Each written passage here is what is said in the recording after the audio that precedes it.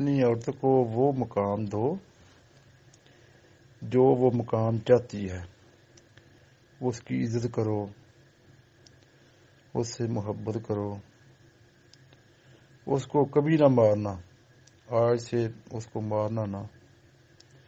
کیونکہ یہ تو بیچاریاں مظلوم ہوتی ہیں، اپنا گھر بار چھوڑ کر آتی ہیں آپ کے پاس۔ تم لوگ ان کو مارتے ہو۔ مردانہ طاقت کے لیے نسخہ بھی نوٹ کر لیں بیٹا۔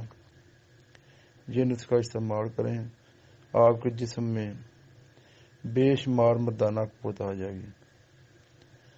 نسخہ بھی بالکل معمولی ہے۔ تباشیر۔ وی گرام، چھوٹی لاچی وی گرام۔ لونگ، چالی گرام۔ مکھن بوٹی بھی گرام دار چینی دس گرام سکے بیر خشک بیر چالی گرام چرکا اسبگول دو سو گرام ان تمام چیزوں کو گرینڈ کر لیں، ان کا پاؤڈر بنا لیں۔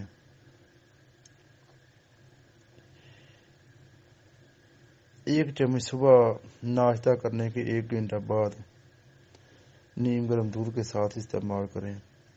ایک چمچ شام کھانا کھانے کے ایک گھنٹہ بعد نیم گرم دودھ کے ساتھ استعمال کریں۔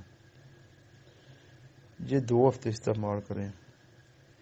آپ کے جسم میں دس مردوں کے برابر مردانہ قوت آ جائے گی۔ بیٹا، یہ آگے شیئر نہ کریں۔ اگر آپ یہ نسخہ استعمال نہیں کر سکتے، تو پھر السعودیہ کا تیار کردہ لونگ شادی کورس استعمال کریں۔ السعودیہ کا تیار کردہ لونگ شادی کورس دس مردوں کے برابر مردانہ قوت پیدا کرتا ہے۔ ساتھ، اگر آپ کے عضو خاص میں کمزوری ہے۔ تو ساتھ السعودیہ کا اکثیر شادی کورس استعمال کریں ہمارا ایڈریس نوٹ کر لیں السعودیہ طبی فاؤنڈیشن، العزیز centre, Lari Adda Badami Bagh, Lahore.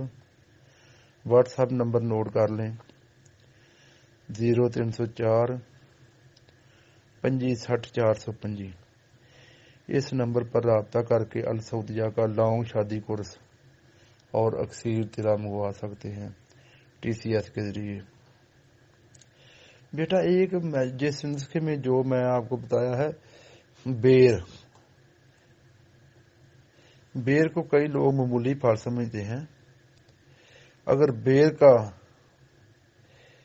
کہ فیر کا کسی کو پتہ چل جائے، تو لوگ سونے سے بھی زیادہ قیمتی لے کر استعمال کریں۔ کیونکہ بیر وہ پھل ہے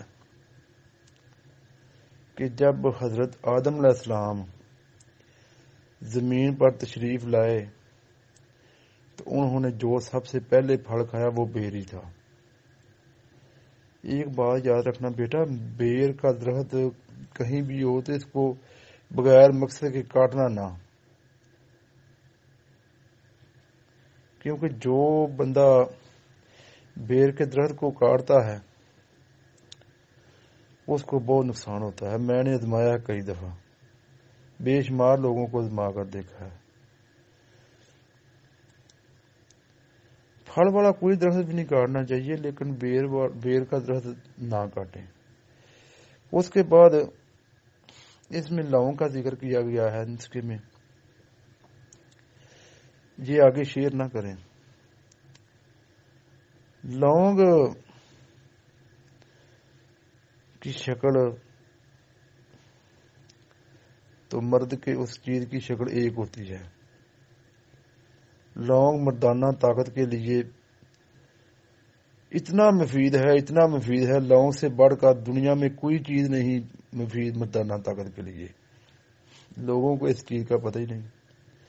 کہ لونگ میں کس قدر مردانہ طاقت چھپی ہوئی ہے۔ یہ تو لونگ تو مردانہ طاقت کا خزانہ ہے۔ لوگ صرف مسالہ جات میں استعمال کرتے ہیں، مردانہ طاقت کی ادویات میں استعمال ہی نہیں کرتے۔ ان لوگوں کو لوگوں کے فائدے کا پتہ ہی نہیں۔ دنیا میں سب سے زیادہ جو مردانہ قوت ہے وہ لونگ میں